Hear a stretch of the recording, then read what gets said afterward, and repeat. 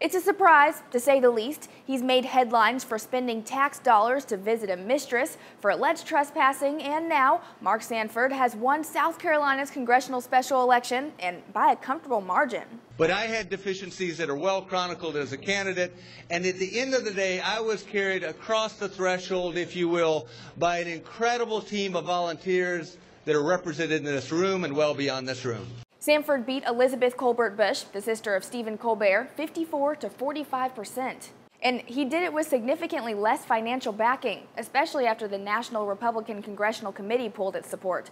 Colbert had the advantage of outside spending by 5 to 1 compared to Sanford, but in the end, money was little help to her. Wow, we gave it a heck of a fight, didn't we? Yeah!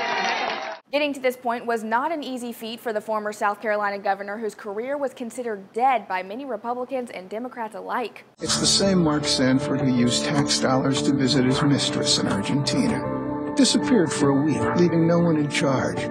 Betrayed all who trusted him.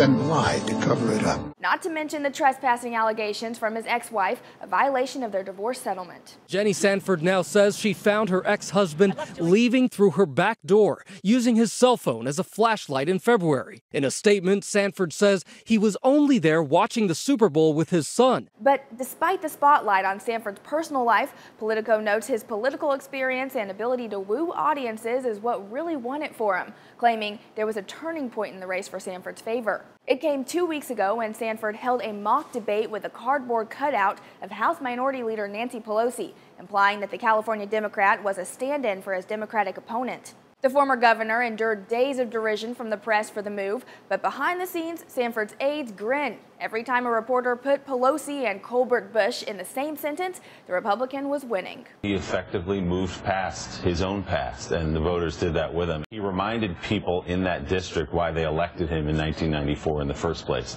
and because of cutting down on government spending. I think that this is certainly a degree of political redemption, and we'll, we'll see. Uh, where things go from here. It's less about that, though, than it is about this second chance to make an impact in Washington, D.C., where I think impact is desperately needed. Sanford replaces former Representative Tim Scott. For Newsy, I'm Jasmine Bailey.